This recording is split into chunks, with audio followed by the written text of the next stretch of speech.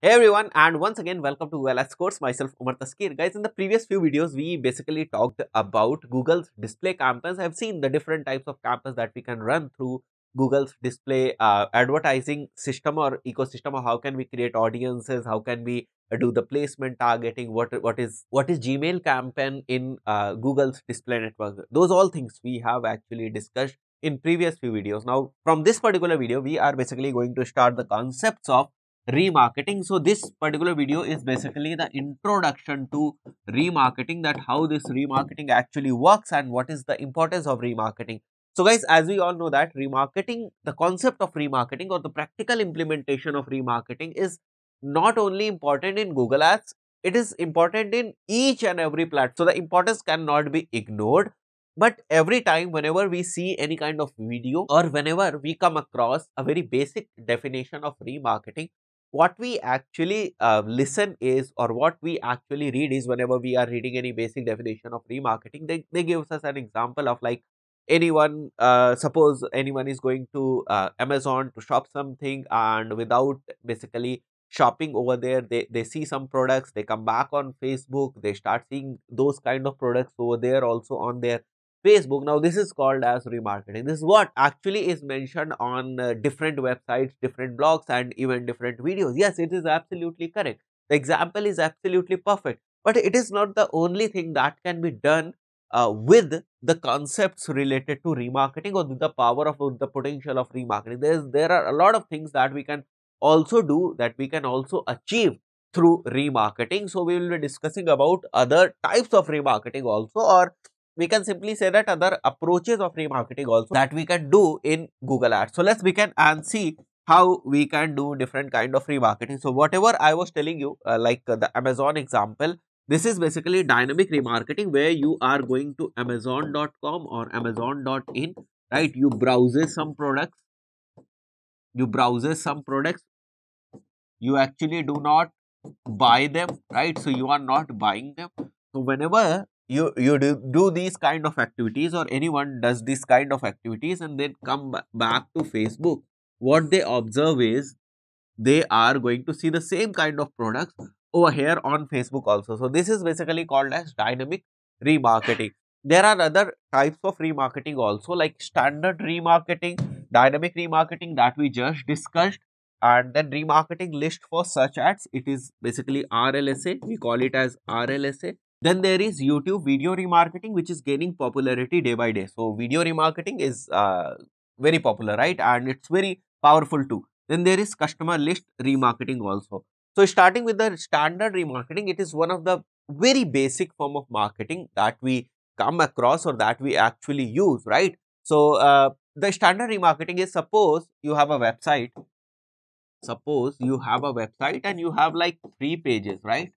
Three pages on your website and this one is a very important page on your website the page number two. Anyone coming on to your website uh, is basically coming on your home page and they are basically not going to one of a very important page which is there on your website. Now what you are doing is now you are creating an audience. Now what you will do is you will create an audience.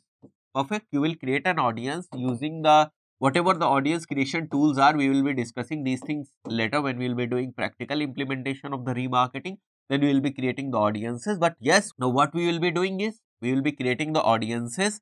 We will be using different audience creation tools. We will be creating the audiences. And this audience will be like anyone who is visiting to our home page but does not visit or does not goes to this page. Page number 2 right? So you will you will basically capture these uh, uh, these visitors into your audience set and then you will show them the ads. So, this is one of the very basic form of uh, remarketing which is called as standard remarketing. Another one is dynamic that we just discussed. Now, remarketing list for search ad is like remarketing list for search ad 1 and remarketing list for search ads 2. Now, these, these can be different lists that can be used to remarket through search ads, right. So, this time the remarketing will be done through search ads. So, you will be creating another search campaigns for retargeting those people who have already visited to your website. Or like if there is a group of people which has already entered some keywords which are there in your ad group and then they visited on your website now if they are again searching those kind of uh, uh, like keywords what you are telling google is that that, okay, that these people has already interacted with my website so i am willing to pay more in this specific case and these are our remarketing list now this campaign is for those kind of people so you can also create campaigns like search campaigns for the people who have already visited on your website or who has already uh, entered the queries which were there in your ad group, right? So, one, two, three. These three are the different types of uh, like remarketing campaigns. Then we have YouTube video remarketing concepts also where we can basically create the audience because see remarketing is all about creating the audience. You have campaigns right? You can create the campaigns and then you have to target those campaigns so whenever i say you have to target those campaigns which means that you have to create a certain audience right? And you have to show ads to that particular audience. Now whenever that audience is like they have already interacted with your website or any one of your property right? Now those kind of audience comes into the remarketing audience. It's very simple but the campaigns remain same. So you have the option of running campaigns or showing campaigns or basically firing campus to two kind of audience. One is the cold audience which actually does not know anything about you and the other one is the warm audience which has already interacted with your business. So, whenever you are advertising to warm audience, it is basically the remarketing audience, right. So, whenever I am talking about the concepts of remarketing, no matter what platform we are discussing, we are discussing Facebook, Google, LinkedIn, Pinterest, whatever Twitter, whatever advertisement platform we are talking about, right? Whatever advertisement platform we are talking about, it's not about the concept remarketing, it's all about the creation of audience. So, whenever we say remarketing, it's all about how accurate, how perfect the audience you create, right? Now, over here, I was talking about the YouTube videos remarketing. So, we have options like we have to link our YouTube channel to Google Ads. Then we can basically select different videos from here like uh, if anyone has visited to this particular video if anyone has visited to this particular video of or if anyone has subscribed to our channel or if anyone has not subscribed to an, our channel then we have different kind of options different kind of interactions. And based on those interaction we can create different audience right? So this is how we can create the audience for the youtube videos. Or if i have a youtube channel i can create the audience based on how people are interacting with my videos. And then we can use that audience for creating the different campaigns and show and can basically show them the ads. This is the concept of remarketing. So we are not limited to this thing only, the remarketing campaign. There are a lot of approaches, a lot of opportunities through which we can basically cater more audience set. Now, talking about customer list remarketing, this is again very simple thing.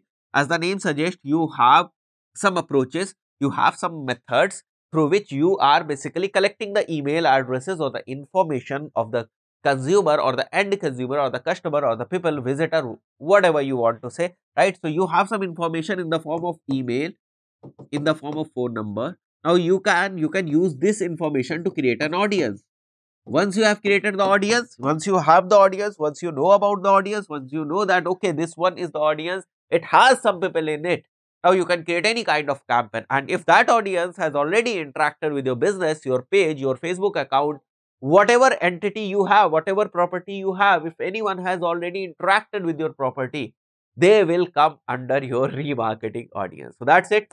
I believe now you have understood the basic concepts behind remarketing. We have to do so much of things like we have to connect different tools because creating the audience is not an easy part. We have to create the audience through Google Analytics, we have to understand our Google Analytics platform. We have to see that how audience is interacting with our different pages and from there we can we can basically create the audience and we can import that audience into our Google Ads platform. So we have two different tools here, right? So from the very next video, we'll be talking about different tools also. And now, now onwards, when we talk about remarketing, the integration of different tools will also come into picture. Like we have to integrate Google Analytics along with Google Ads. So we have to integrate them so that we can we can uh, make the data flow smooth. We can bring data or the audience from analytics to Google Ads, right? So we ha also have to understand the pixel implementations or the codes or the script implementation on our website so that we can capture the audience from there also. So now, now onwards or from the very next video, we will be also talking about the integration of the different tools. Most probably the uh, major integrations will be between Google properties only like integration will be there for like Google ads and YouTube channel. Integration will be there for like Google ads platform and your Play Store, right? Your app store or your application. So if you want to like advertise for your application to gain more installs of your application, you have to integrate to platforms like Google Analytics and uh, uh, Google Ads, right? So we, we have to understand the integrations also and then we have to understand the data flow between these uh, platforms so that we can use the data more efficiently and we can do the remarketing. So that's it for this specific video. See you in the next video. Till then, goodbye.